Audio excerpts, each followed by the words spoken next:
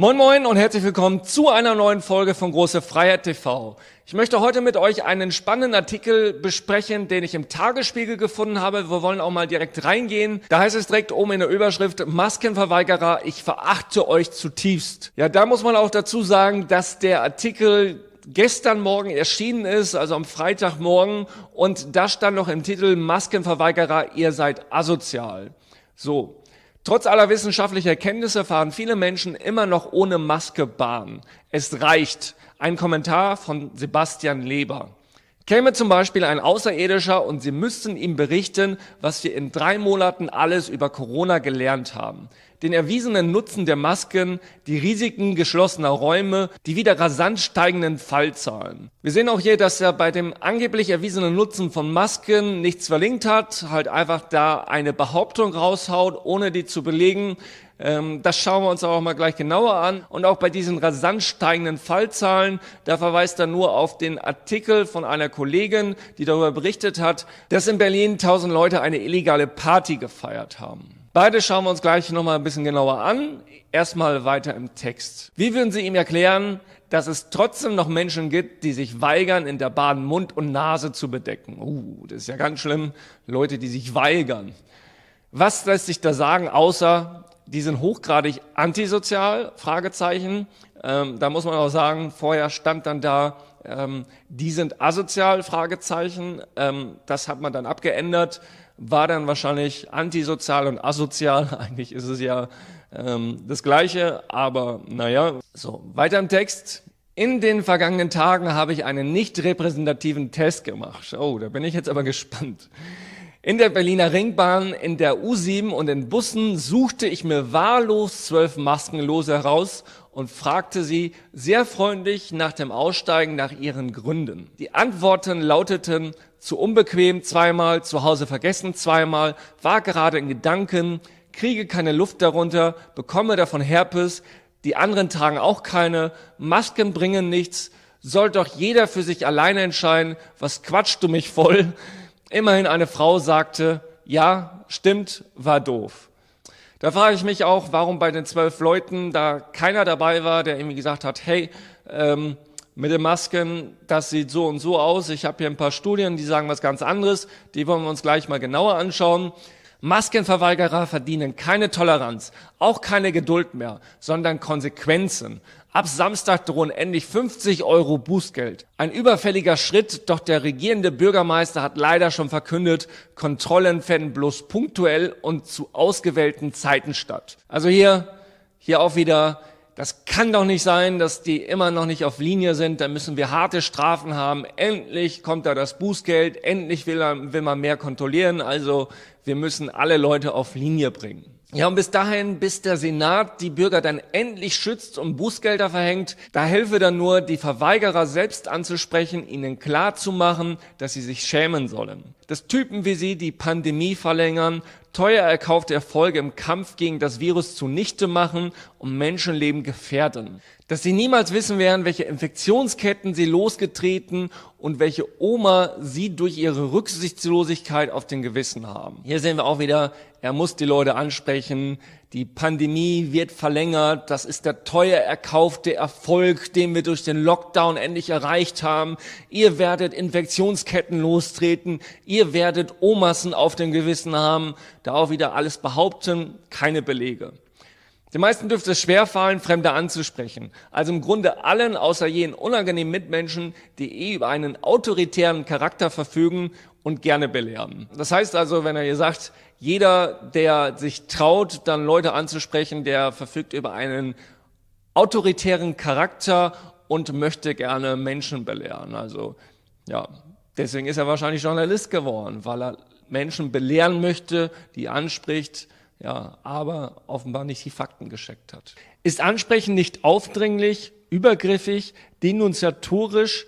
Ich denke, es ist in diesem Fall Zivilcourage und dem einzigen Unhöflichen im Abteil, demjenigen, der die Freiheiten anderer beschneidet, fehlt eindeutig ein Stück Stoff im Gesicht. Ja, für mich ist es aufdringlich, für mich ist es übergrifflich, für mich ist es denunziatorisch und auf keinen Fall Zivilcourage. Ich denke mal, so ein ähnlicher Artikel hätte auch in der Nazi-Zeit erscheinen können, wo jemand dann voll auf Linie mit den Nazis ist, der einfach sagt, ein mutiger Schritt, äh, es ist ganz mutig und der autoritäre Charakter kommt durch, wenn wir denn den Nachbarn anschwärzen, der Juden im Keller versteckt hält. Das ist ganz, ganz mutige Zivilcourage und das sollte jeder gute Bürger machen. So, ich sag, ja, das Problem ist immer nur Autoritäten, Autoritätsgehorsamkeit. Das war damals bei den Nazis das Problem, das ist heute auch wieder das Problem. Und dieser Herr Leber ist das beste Beispiel für jemand, der ja, voll auf Linie ist, anstatt einfach mal zu recherchieren und das kritisch zu hinterfragen. Ja, kommen wir zum Recherchieren. Ähm, wollen wir uns jetzt mal anschauen, was denn das mit den Masken tatsächlich auf sich hat. Bewirken die etwas oder sind die sogar schädlich? Er schreibt ja, es ist ein erwiesener Nutzen bei den Masken ohne Belege. Wir wollen mal reinschauen, was da direkt die oberste Behörde in Deutschland, die Corona-Aufsichtsbehörde, das Robert-Koch-Institut schreibt. Für die Bevölkerung empfiehlt das RKI das Tragen einer Mund-Nasen-Bedeckung in bestimmten Situationen im öffentlichen Raum. Das Tragen der Mund- und Nasenbedeckung, das Tragen der Mund-Nasen-Bedeckung kann ein zusätzlicher Baustein sein, um die Ausbreitungsgeschwindigkeit von Covid-19 in der Bevölkerung zu reduzieren. Allerdings nur, wenn weiterhin Abstand mindestens 1,50 Meter von anderen Personen, Husten- und Niesregeln und eine gute Händehygiene eingehalten werden. Dabei muss berücksichtigt werden, dass es Personen gibt, die aus medizinischen und anderen triftigen Gründen keine Mund-Nasen-Bedeckung tragen können. So, und hier ist jetzt die entscheidende Passage, da steht, das Risiko, eine andere Person durch Husten, Niesen oder Sprechen anzustecken, kann so verringert werden. Fremdschutz. Eine solche Schutzwirkung ist bisher nicht wissenschaftlich belegt. Sie erscheint aber plausibel. Hingegen gibt es für den Eigenschutz keine Hinweise. Das heißt, für den Fremdschutz, dass man andere anhustet, anniest, ähm, beim Sprechen irgendwie mit irgendwelchen Viren infiziert. Dieser Fremdschutz, dafür gibt es keine wissenschaftlichen Belege, aber man sagt, okay, es ist plausibel, wo ich sage, okay, äh, wenn es denn plausibel sein soll, dann liefert gerne wissenschaftliche Belege. Ihr seid die oberste Behörde. Da geht's nicht um irgendwie Plausibilität, da geht's um wissenschaftliche Belege. So, aber okay, da kann man ja auch sagen, da hat man auch für den ganzen Lockdown, für die ganzen Maßnahmen, hat man auch keine wissenschaftlichen Belege geliefert. Da hat man halt einfach nur, ja, auf Plausibilitäten gehört, auf Emotionen gehört und dementsprechend die Maßnahmen verhängt. Ja, und ich habe mir hier einfach mal die Mühe gemacht und mir die ganzen wissenschaftlichen Studien zur Maskenpflicht angeschaut. Halten diese Masken die Viren tatsächlich auf oder gibt es da keine Hinweise für? Dass es dafür keine Hinweise gibt, ein Wunder, da gibt's ganz, ganz viele super seriöse Quellen, die genau das sagen, dass es da keine wissenschaftlichen Belege geben, also das, wo das RKI schon darauf hindeutet. Das sagt zum Beispiel das amerikanische Pendant zum Robert Koch Institut, die CDC Center for Disease Control oder wir haben mit Tom Jefferson von der Universität Oxford, der hat mit zahlreichen anderen Wissenschaftlern hier eine Studie veröffentlicht. Oder Wissenschaftler aus Südkorea, diese Studie, die wurde sogar im Ärzteblatt veröffentlicht. Oder hier gibt es eine sehr ausführliche WHO-Studie aus dem Herbst 2019 zu nicht pharmazeutischen Maßnahmen bei Influenza-Epidemien und Pandemien. Und wenn wir uns da mal anschauen, was die zu Masken sagen, die sagen, Masken sind nur für Personen mit Symptomen oder bei schweren Epidemien zu empfehlen. Genau das Gleiche sagt auch die Klinik für Infektionologie und Spitalhygiene in St. Gallen. Ja, und gegen diese Studie im Herbst 2019 hat die WHO im März 2020 gesagt, oder da speziell der Nothilfedirektor Michael Ryan, es gebe zusätzliche Risiken, wenn Menschen die Masken falsch abnehmen und sich dabei womöglich infizieren. Unser Rat, wir raten davon ab, Mundschutz zu tragen, wenn man nicht selbst krank ist. Dass Masken auch eher Schaden anrichten, als dass sie schützen, sagt auch diese Professorin aus Sydney oder auch hier eine schon etwas ältere Dissertation an der Technischen Universität München. Oder unser Chef-Virologe, der ja auch die Bundesregierung beraten hat, der überall in den Medien ist, der einen großen Podcast da im öffentlichen Rechtlichen hat. Ähm, Christian Drosten, der hat Ende Januar 2020 hat er noch gesagt, Ich möchte, dass sich in meiner Umgebung jemand infiziert. Aber ich könnte die Maske aufsetzen. Hm, damit hält man das nicht auf. Ach, damit also hält man das nicht wir, auf? Können wir noch mal separat darüber reden, aber die technischen Daten dazu sind nicht gut für das Aufhalten mit der Maske. Am 22. März, also genau ein Tag vor dem Shutdown, hatte er noch getwittert, Masken sind eine Ergänzung der Maßnahmen und eine Erinnerung für alle an den Ernst der Lage. So. Hier auch wieder, für mich ist ein klares Indiz, es geht nicht um wissenschaftliche Belege. Es geht einfach darum, den Leuten zu zeigen, okay, hey, es ist hier ganz schlimm, ihr müsst aufpassen, haltet euch an die Abstandsregeln. Ja, letztendlich, für mich sieht es mehr so aus, okay, wir wollen die Leute schikanieren, wir wollen sie zeigen, wir wollen ihnen zeigen, wir regieren über euch, wir bestimmen, was ihr zu tun und zu lassen habt und ihr müsst hörig sein. Insofern, wir wollen nur, dass ihr den Ernst der Lage erkennt. Dagegen spricht dann zum Beispiel auch der Weltärztepräsident Montgomery, der hält die gesetzliche Maskenpflicht für falsch. Oder auch direkt Frau Merkel, die hat am 1. April die genähten Stoffteile als Virenschleudern bezeichnet, seien diese doch innerhalb kürzester Zeit durchfeucht. Sie warnte zudem davor, dass die Menschen durch das Tragen einer Maske verleitet werden können, den verordneten Mindestabstand von 1,50 Meter zu unterschreiten. So, hier also, die Masken sind Virenschleudern, ähm, natürlich nur die selbstgenähten. Ähm, ja, ich frage mich, sind das die anderen nicht auch, wenn man die die ganze Zeit wiederverwendet, wenn man die irgendwie zusammenknüllt, in die Hosentasche steckt? Ähm, lustigerweise ist auch diese Aussage am 1. April getroffen worden. Also ich weiß nicht, ob das Zufall war. Oder auch wieder hier unser Gesundheitsminister Jens Spahn, der hat Ende Januar auch noch gesagt, ein Mundschutz ist nicht notwendig, weil das Virus gar nicht über den Atem übertragbar ist. Ja, wir sehen also, genauso wie das Robert Koch Institut sagt, ähm, dass die Masken die Viren aufhalten. Dazu gibt es keine wissenschaftlichen Beweise, wissenschaftliche Belege, sondern genau das Gegenteil ist eher der Fall. Man rät von den Masken ab, weil sie Virenschleudern sind. Natürlich klar auch die Masken, die ähm, ich ich mache es aus so. Ich habe eine im Auto, ich habe eine, wenn ich unterwegs bin, habe ich sie in der Hosentasche. Ich habe die nie gewechselt. Äh, okay, aber ich mogel immer auch ein bisschen, dass ich nur auf dem Mund halte und ähm, mal ein bisschen runterziehe. Ja, und dabei haben wir die ganzen Verhaltensänderungen noch gar nicht angesprochen.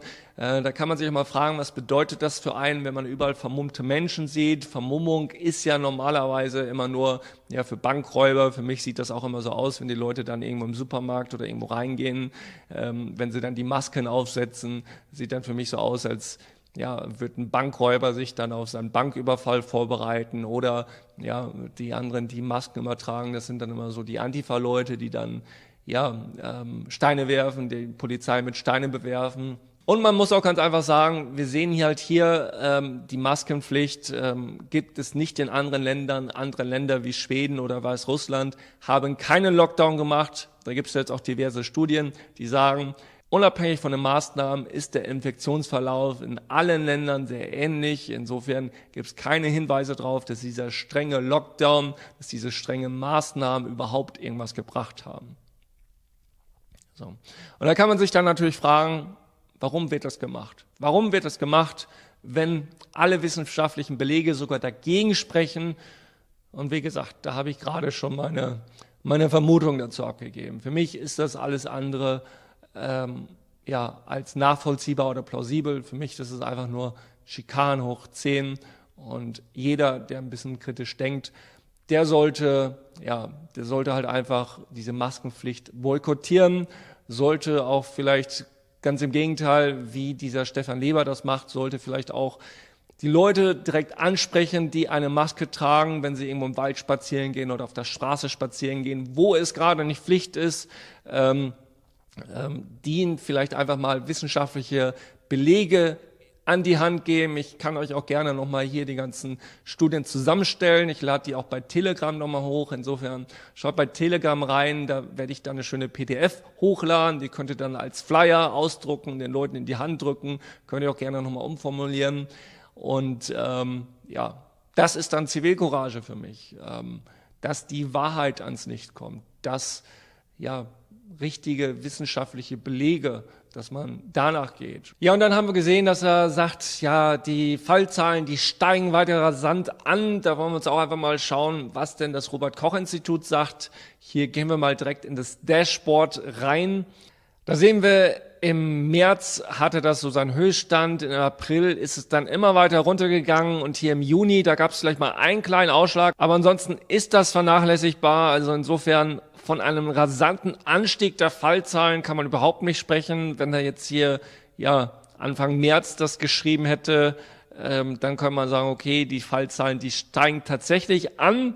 Aber bei diesen Zahlen, das sind natürlich nur absolute Zahlen. Man weiß gar nicht, wie viel getestet wurde. Dazu muss man dann in den täglichen Lagebericht des Robert Koch Instituts reinschauen.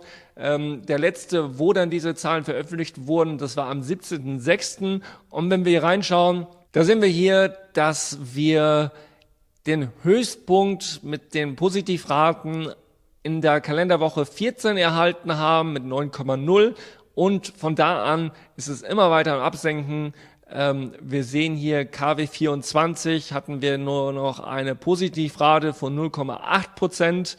Ja, und was man dabei beachten muss, natürlich, äh, die Fallzahlen gehen immer weiter zurück, aber es ist einfach so bei diesem PCR-Test, er ist so ungenau. Das heißt, je weniger positiv getestet werden, desto höher sind die falsch negativen. Das heißt, diejenigen, die eigentlich negativ sind, werden dann positiv getestet. Da hat Samuel Eckert ein sehr schönes Video dazu gemacht. Da habe ich mir von ihm auch mal hier diese Tabelle runtergeladen und habe da die aktuellen Daten reinge eingetragen. Also Samuel Eckert hat da auf den Artikel von Korrektiv verwiesen, wo eine Sensitivität von 98,9 bis 99,7 Prozent angegeben wurde und eine Spezifität von 97,8 Prozent bis 98,6 Prozent. Nochmal ganz kurz, was ist Sensitivität, was ist Spezifität? Die Sensitivität ist das bei dem positiven Test, wie viel von den positiven Tests tatsächlich auch positiv sind und das gleiche umgekehrt, die Spezifität bei den negativen Tests. Das heißt, wenn wir eine Spezifität von 98 Prozent haben, sind von diesen 100 Prozent negativen sind zwei automatisch falsch positiv. Das heißt, eigentlich sind sie negativ, sie werden aber tatsächlich als positiv angezeigt. Wenn wir uns die Excel-Tabelle von Samuel Eckert zu der Zuverlässigkeit des PCR-Tests nochmal genauer anschauen, wie gesagt, da habe ich die ganzen aktuellen Daten eingetragen. Das könnt ihr auch gerne mal machen, das ist super spannend.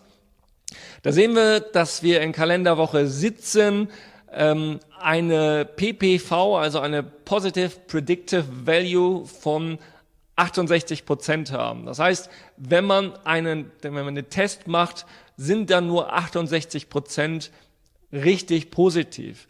Der Rest, das heißt hier 32 Prozent, knapp 32 Prozent sind dann falsch positiv. Ja, und das Skandalöse ist jetzt, dass ab der Kalenderwoche 18, weil da die Positivrate immer weiter gesunken ist, man eine PPV von 0% hat. Das heißt, dass wahrscheinlich alle Tests, die wir durchführen, falsch anschlagen.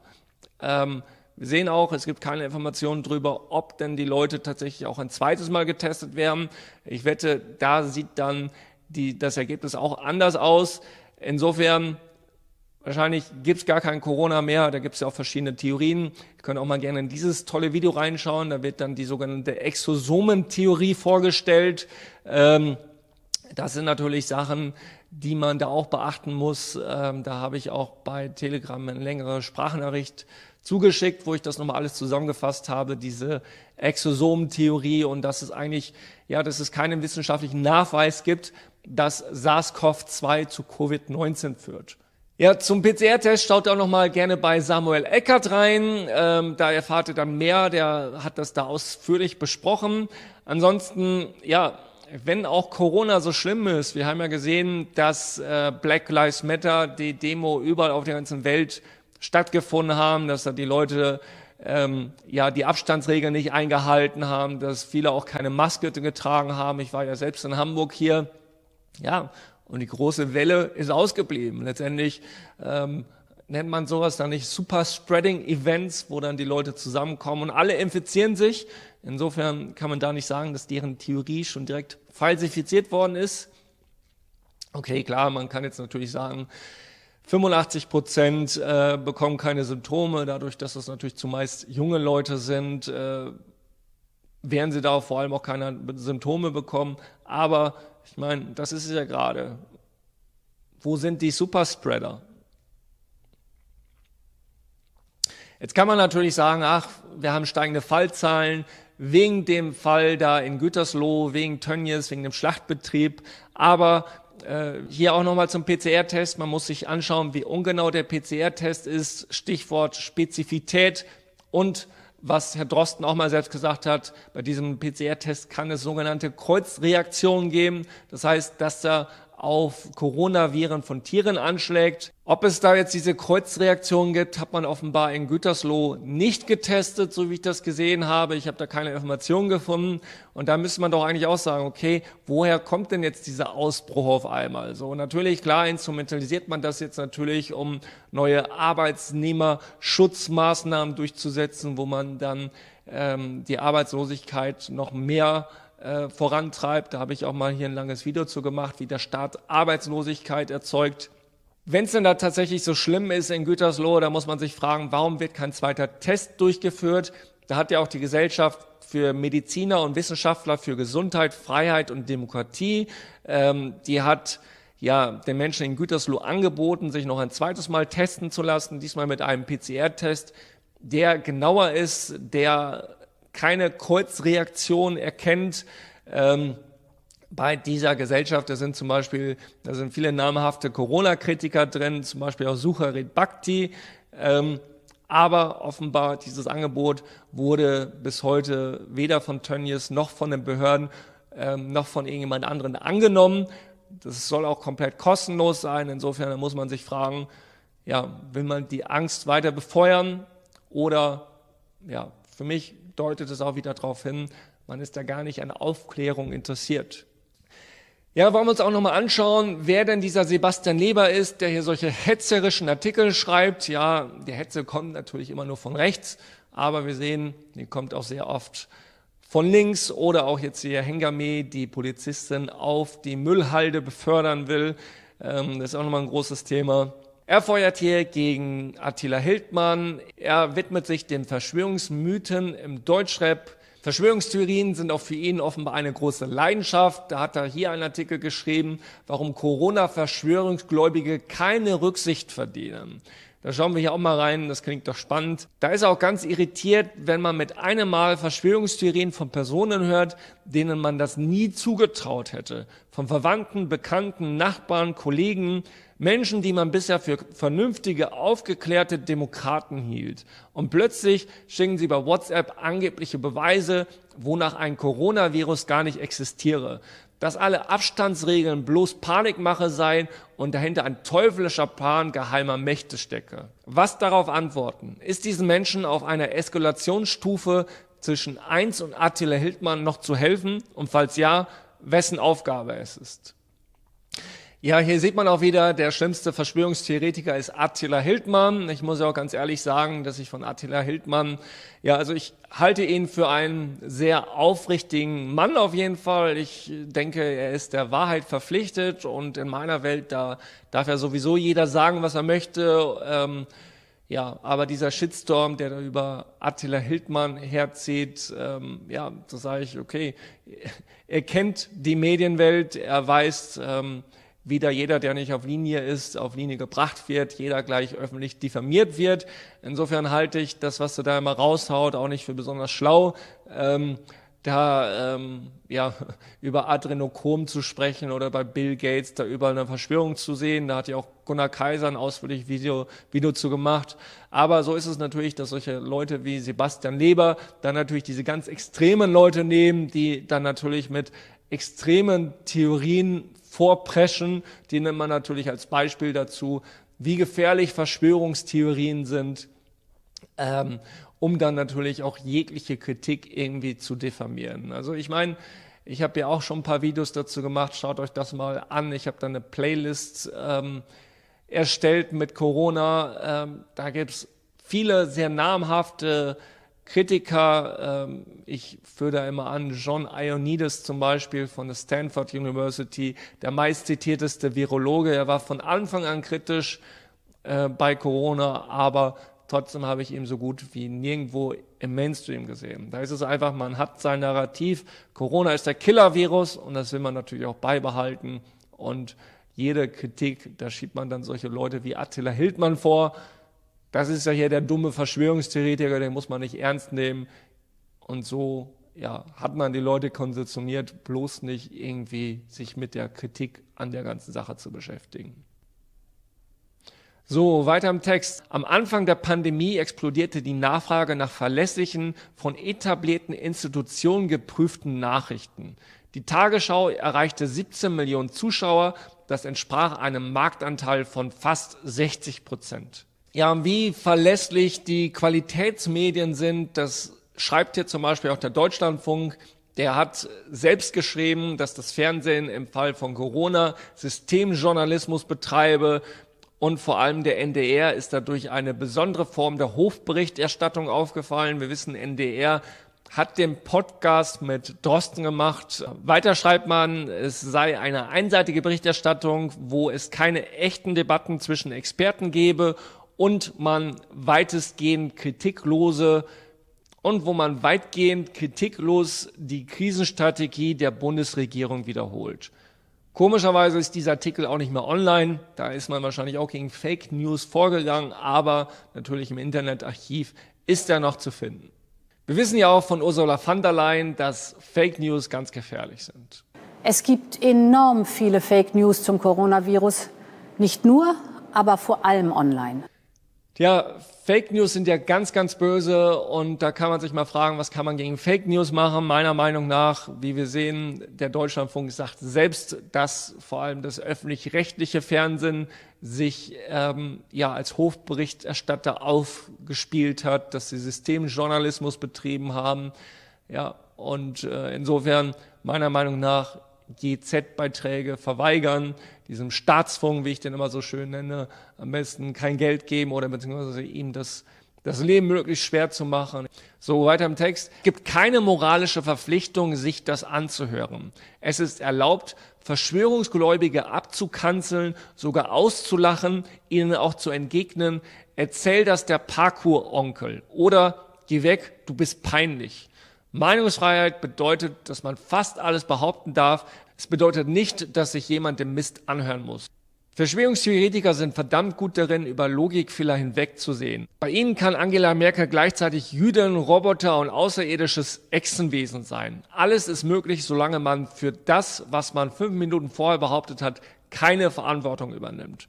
Ja, wir sehen ja auch wieder, Jüden, Roboter, außerirdische Echsenwesen. Man nimmt wieder die ganz extremen Verschwörungstheorien, wo ich sage, okay, ich bin ja grundsätzlich offen für Verschwörungstheorien, aber manches wie flache Erde oder Echsenwesen geht dann doch zu weit, wobei bei Echsenwesen. Dann hat er hier wieder einen Artikel über Attila Hildmann geschrieben und der Verschwörungstheoretiker Xavier Nadu darf auch nicht fehlen. Also Xavier Nadu, wo ich sage, ja, ich halte ihn auch wieder für, für einen aufrichtigen Menschen, der keine Angst hat, seine Meinung zu sagen. Natürlich ist das politisch nicht unbedingt so schlau. Ähm, man sieht ja auch, dass seine Konzerte jetzt überall versucht werden zu verhindern. Ähm, er hat ja auch vorher, ist er auch mit Meldungen aufgefallen zu der äh, deutschen Unabhängigkeit oder zu der Unabhängigkeit von Deutschland. Ähm, ja, und leider ist es in diesem Land so weit, man muss nur einmal das Falsche sagen, schon hat man da dann wirtschaftliche Konsequenzen zu, zu befürchten. Aber solchen Leuten wie Attila Heldmann und Xavier Nadu ist es offenbar egal. Ähm, ja, wo ich sage, vielleicht nicht ganz so sehr über das Ziel hinaus sprechen, vielleicht nicht ganz so über ganz so krasse Sachen wie Adrenochrom und so weiter zu sprechen, ähm, dann wird man vielleicht auch mehr ernst genommen. So, dann hat Sebastian Leber auch noch einen Artikel geschrieben, wo er einen Streifzug durch das Berliner Nachtleben unternimmt und wo er sich darüber beschwert, dass die Abstandsregeln und Maskenpflicht ignoriert wird. Da drängen sich Gäste dicht an die Theke und unterhalten sich angeregt mit den Wirten. Er fragt sich, ist es spießig, sich darüber zu mokieren? Ist das Erbsenzählerei? Ja, Sebastian, ich finde es sehr spießig. Ich finde es Erbsenzählerei, ich finde, es ist unwissenschaftlich. Ähm, recherchiere gerne mal. Darauf dann, dass viele Bars und Restaurants wegen Corona dann pleite gehen, schreibt er, Sympathien hat die Szene mit der Schlauchbootdemonstration am Pfingstsonntag verspielt, die eigentlich auf die Nöte der Clubbetreiber, Veranstalter und DJs aufmerksam machen sollte und stattdessen in eine Massenparty betrunkener, dicht gedrängter Feiernder auf am Ufer des Landwehrkanals ausartete. Vor dem Kreuzberger Urbankrankenhaus, in dem Patienten um ihr Leben kämpften und Ruhe brauchen. Wenn eine Meute derart rücksichtslos nur auf ihr eigenes Vergnügen fixiert ist, warum sollte sich jemand mit ihr solidarisch zeigen? Hier hat er sich dann auch mal wieder den Verschwörungstheorien zum Coronavirus gewidmet. Die schäbigen, die tödlichen und die saudummen Verschwörungstheorien zu Corona schüren zunehmend Hass und gefährden Menschenleben. Ein Blick in den Abgrund. Einige Heilpraktiker empfehlen Bleichmittel zu trinken. Dann sei man gegen das Virus immun. Andere behaupten, es existiere überhaupt kein Virus. Alles sei inszeniert, um die Menschheit zu versklaven oder von einer Wirtschaftskrise abzulenken oder Angela Merkel zu verhaften. Ja, hier sieht man auch wieder Bleichmittel zu trinken. Das ist Chlordioxid. Ähm, Freunde von mir nehmen das auch, natürlich nicht gegen Corona, aber um sich irgendwie zu reinigen. Da habe ich mich aber noch nicht groß mit beschäftigt. Und ich sage, da kann man ja, an allen Verschwörungstheorien ist oft was dran. Schaut mal genauer rein. Auch, ob es überhaupt ein Virus gibt. Wie gesagt, schaut euch dieses Video an mit der Exosomentheorie. Es gibt da andere Theorien. Wo habt ihr davon schon mal gehört? Außer vielleicht in den alternativen Medien. Ich meine, Oliver Janich hat es mal angesprochen, aber ansonsten spricht man darüber nicht. Hier auch wieder irgendwelche Extrempositionen nehmen, ähm, um halt einfach jegliche Kritik an Corona ja, zu diffamieren und in der Ecke zu stellen. Viele Verschwörungstheorien, die in diesen Tagen über Corona kursieren, sind so haarsträubend, dass man sich kaum vorstellen kann, irgendjemand könnte sie ernst nehmen. Tatsächlich werden sie zigtausendfach über die sozialen Netzwerke und per Messenger verbreitet. Von Esoterikern, von Geschäftemachern, von religiösen Fanatikern und Rechtsextremen. Aber auch von Menschen, die offenbar einfach verunsichert sind. Ja, auch wieder sind alles schlimme Esoteriker, rechtsextreme, religiöse Fanatiker oder halt einfach Leute, die, die darauf reinfallen, die einfach verunsichert sind. Ja, ähm, so ein, ein guter Demokrat ist natürlich immer auf Linie, liest den Tagesspiegel, glaubt Sebastian Neber alles, was er sagt, ohne Belege. Verschwörungstheorien sind ja auch total schlimm, weil sie nicht nur dazu verleiten, sinnvolle Sicherheitsmaßnahmen zu missachten, dadurch sich und andere zu gefährden, sie können auch Hass auf Minderheiten schüren, die medizinische Versorgung gefährden, zu konkreten Gewalttaten anstiften. All dies ist in den vergangenen Tagen geschehen. Uh. Etliche Verschwörungstheoretiker glauben, die Pandemie sei lange geplant und von bösen Mächten im Hintergrund inszeniert, um eine neue Weltordnung einzuführen. Ziel sei die Versklavung der Menschheit. Dafür streben die Hintermänner Massenimpfung, Abschaffung des Bargelds, Überwachung und Ausgangssperren an und verkaufen diese der Bevölkerung als Sicherheitsmaßnahmen gegen Corona.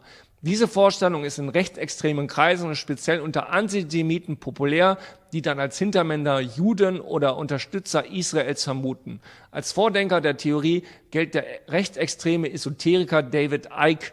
Der Mann warnt auch vor außerirdischen Reptilien, die die Menschheit unterwandern. Ja, auch wieder die extremsten Theorien. Neue Weltordnung, da habe ich auch ein Video zu gemacht, die neue Weltordnung nach Corona. Das habe nicht ich gesagt, das haben Leute beim Weltwirtschaftsforum gesagt, ähm, die nicht zur alten Wirtschaft vor Corona zurück möchten, sie eine neue Weltordnung haben möchten, ähm, alles noch grüner, noch nachhaltiger, noch diverser. Ähm, ja, auf die anderen, Punkte mit Massenimpfung, Abschaffung des Bargelds, also Massenimpfung, da muss man differenzieren. Abschaffung des Bargelds, da habe ich auch mal ein Video zu gemacht über die Bargeldabschaffung, Überwachung. Ja, natürlich gibt es immer mehr Staat durch diese Maßnahmen. Ja, ob das jetzt alles von irgendwelchen bösen Mächten im Hintergrund alles geplant ist, um dann die NWO durchzusetzen, also darüber kann man natürlich nur spekulieren. Ähm, ja, über sowas rede ich hier auf meinem Kanal auch nicht, wo ich sage, okay, ich bringe einfach nur die Zahlen, Daten, Fakten, ähm, das zu interpretieren soll einfach jeder für sich übernehmen. Und ähm, ja, zum Beispiel hier David Icke oder David Icke hat er bei London Real auch ein spannendes Interview gegeben. ja, Verschwörungstheorien, grundsätzlich sollte jeder für Verschwörungstheorien offen sein. Es, zu behaupten, es gibt keine Verschwörung, äh, ist ja auch total lächerlich. Ich meine, schau dir 9-11 an, schau dir die Brutkastenlüge an, schau dir The Bay of Pigs an und so weiter. Da hieß es auch alles, oh, das sind irgendwelche Verschwörungstheorien und letztendlich hat dann, wurden dann die Akten geöffnet und dann hatten die Verschwörungstheoretiker dann doch recht. Okay, bei 9-11 ist es offiziell noch nicht als, als Fake anerkannt, aber da gibt's ja auch jeder, der da ein bisschen recherchiert, ähm, der sieht da, dass da sehr, sehr viele Ungereimtheiten sind. Dann hat er hier noch einen Bericht geschrieben, wo er sehr erfreut darüber ist, wie strikt die Polizei in Berlin die Kontaktverbote durchsetzt. Oder hier wieder ein Artikel, wo er Corona-Ungläubige diffamiert, der Corona-Kosmos der Unvernünftigen. Da schreibt er, es scheint, als hätten sich diese Tage in Berlin zwei Lager gebildet, die sich unversöhnlich gegenüberstehen. Die einen deutlich in der Mehrheit, die alle Schließungen und Verbote begrüßen die auch bereit sind, ihren Alltag noch weiter einzuschränken, wenn es nur der Verflachung der Kurve dient. Und die anderen, die sich dem widersetzen, weil sie die Sorgen der Mehrheit für übertrieben halten. Sie ziehen den Ärger der Vorsichtigen auf sich, weil ihr Verhalten Leben gefährdet und weil ihre Rücksichtslosigkeit am Ende zu einer Ausgangssperre für alle führen konnte. Bestärkt fühlen sich kleinere Gruppen durch vermeintliche Expertenmeinungen wie die des Internisten und Lungenfacharztes Wolfgang Wodak. So, hier sehen wir wieder, Wolfgang Wodak ist ja ganz, ganz böse. Damals in dem tollen Video Profiteure der Angst, ähm, da sieht man, dass da damals mit der, ich glaube, Vogel- oder Schweinegrippe war das, da lief alles genauso wie heute. Wolfgang Wodak war da kritisch und hat letztendlich Recht behalten. Das lief bei Arte, aber heute natürlich, wenn er bei Corona eine andere Meinung hat, wenn er da kritisch ist, dann ist er der größte Verschwörungstheoretiker. Die überwältigende Mehrheit derer, die sich seit Wochen mit dem Coronavirus beschäftigen, ist über Wolfgang Wodaks Behauptungen entsetzt. Parteifreund Karl Lauterbach, selbst Epidemiologe, nennt sie abwägig und wissenschaftlich nicht haltbar, eine rechte, eine eine echte Räuberpistole. Auch Christian Drosten, Chef-Virologe der Charité, weist sie zurück. Überwältigende Mehrheit sind dann für Sebastian Leber, Karl Lauterbach und Christian Drosten. Mir fällt da nur dieses tolle Meme dazu ein, was ja auch äh, Sonja Zietlow damals geteilt hat und dafür auch einen, ja, wie soll man sagen, ähm, diffamiert wurde in der Öffentlichkeit. Ja, spannend ist dann auch das Twitter-Profil von Sebastian Leber. Wir wollen mal reinschauen. Da bekundet er Sympathie mit der Antifa oder hier, da schreibt er, meiner Erfahrung nach sind Journalisten, die anderen Journalisten eine Haltung vorwerfen, ausgerechnet diejenigen, die nie recherchieren, nicht mit Menschen sprechen, immer Recht haben, seit Jahrzehnten ihre eigene Meinung in Artikelform gießen. Weiß nicht, ob er da von sich spricht. Ich meine, ähm, er recherchiert nicht richtig. Er meint, die Maskenpflicht oder der Schutz von Masken ist erwiesen. Er spricht auch nicht mit den Leuten in seinem Freundesbekanntenkreis, äh, die dann eine andere Meinung haben, die will er lieber auslachten. Er möchte offenbar auch immer Recht haben, sonst wird er nicht dauernd was über Verschwörungstheoretiker schreiben und vielleicht sich einfach mal mit denen an den Tisch setzen. Auch hier auch nochmal der Aufruf an Sebastian Lesch, wenn äh, ja, wenn du, ich sage einfach mal du, wenn du Sebastian, wenn du einfach mal Lust hast, dich über die ganzen Verschwörungstheorien zu unterhalten, über Corona allgemein. Lass uns gerne mal ähm, ja vielleicht treffen oder einfach mal ein, eine, eine Live-Debatte durchführen. Ich meine, darum geht's ja gerade einfach, okay? Anders Leute mit anderer Meinung an einen Tisch zu bringen, Argumente auszutauschen und dann schauen, wer hat die besseren Argumente. Ja. Wir können also festhalten, dass wir es hier mit Sebastian Leber, mit jemandem zu tun haben, der offenbar schlecht recherchiert, der seine Meinung als Fakten verkauft, ähm, seine Meinung, wie gesagt, mit den mit der Wirksamkeit von Masken hat er nicht belegt. Er redet noch nicht mal mit Andersdenkenden in seinem eigenen Umfeld. Den geht er lieber aus dem Weg und lacht sie aus. Ähm, wir haben es also hier mit einem Prachtexemplar eines Journalisten zu tun, der voll auf Linie ist, der Systemjournalismus betreibt, er denunziert, er weiß alles besser und, wie gesagt, ist voll auf Linie mit der Regierung, ohne das irgendwie kritisch zu hinterfragen. Ja, insofern auch wie schon mal gerade angesprochen, wir sollten einfach das Gegenteil machen von dem, was Sebastian Leber hier macht. Einfach die Leute, die vor allem auch da, wo es kein Zwang ist, eine Maske tragen, die einfach mal ansprechen, die aufklären, einfach freundlich, höflich fragen, ob die sich schon mal mit diesen wissenschaftlichen Studien auseinandergesetzt haben. Dazu werde ich auch bei Telegram, wo ihr mir unbedingt alle folgen sollt, werde ich dann, wie gesagt, einen Flyer hochladen mit den ganzen Studien, mit den ganzen Quellen, die ich auch in diesem Video hier angesprochen habe. Ansonsten habe ich noch eine Corona-Playlist, wo ihr auch gerne mal reinschauen könnt. Vielleicht habt ihr da das ein oder andere Video noch nicht gesehen. Ansonsten war es das wieder von mir. Vielen Dank fürs Anschauen. Wir sehen uns beim nächsten Mal. Bis dann. Ciao, ciao.